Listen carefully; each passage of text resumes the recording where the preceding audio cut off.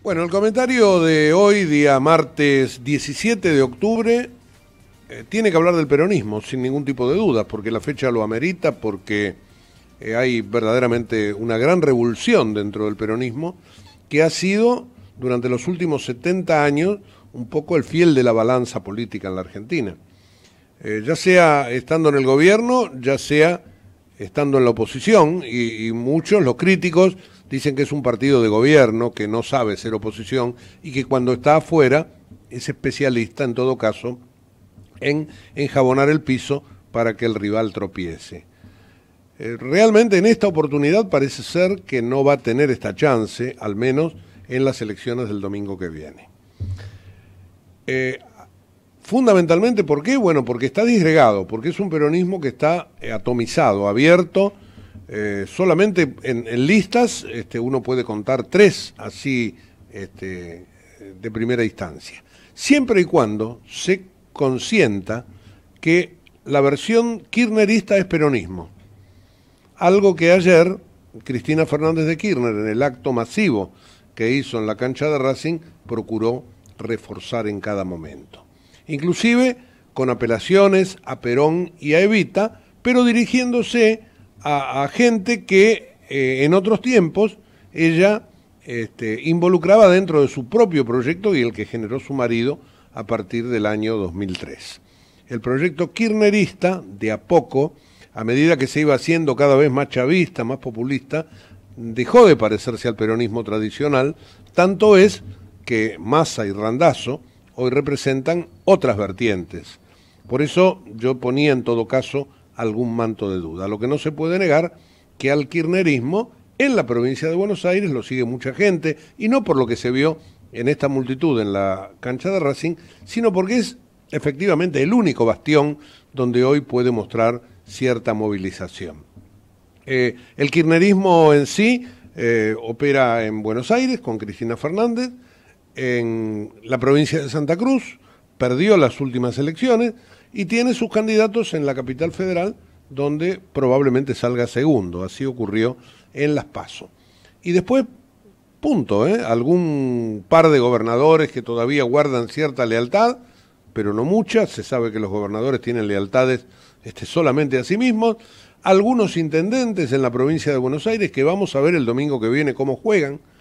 Yo pediría, y lo vamos a hacer aquí en el programa, eh, después comparar cuántos votos sacó Cristina como candidata a senadora y cuántos votos sacaron los concejales de cada intendente. Y eso en todo caso podría llegar a demostrar que los votos eh, de los bonaerenses este, se dirigieron de manera dispersa y no conducidos por los intendentes kirchneristas.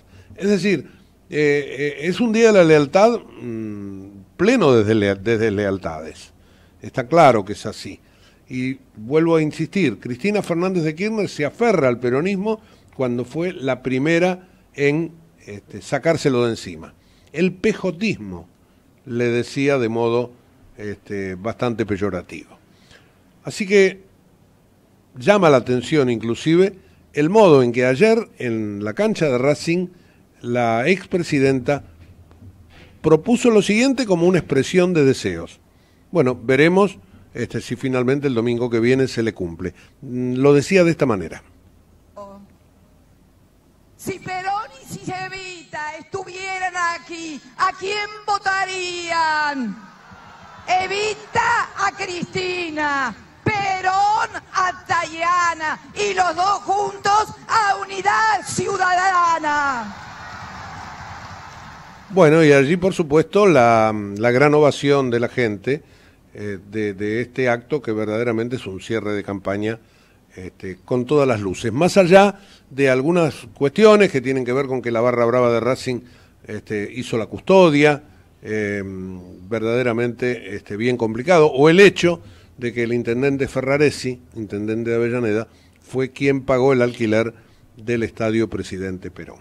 Es decir, es un 17 de octubre que muestra el peronismo desde esa vertiente y que muestra el otro peronismo, el que maneja Miguel Pichetto, o, Bocio en la Cámara de Diputados, tratando de aunar criterios para juntarse con más y Randazo en materia legislativa a partir de diciembre. Y juntos al menos durante el año que viene, acompañar en algunas leyes que se necesitan para ordenar todos los desórdenes que dejó el kirchnerismo, este, la cuestión sobre todo económica de aquí en más. Es decir, no solamente personas distintas, sino conceptos distintos. ¿Mm? El peronismo no va a tirar las banderas de la justicia social, tampoco la, de, la del amor por el consumo, pero no va a llegar a todos los desbordes que se hicieron durante el gobierno anterior. Es decir, un 17 de octubre muy especial, de mucha división, con el peronismo mirando de afuera lo que Cristina Kirchner tiene para ofrecer el domingo que viene. Y por supuesto, esperando que pierda, sin ningún tipo de duda, mirando más hacia la interna que hacia afuera.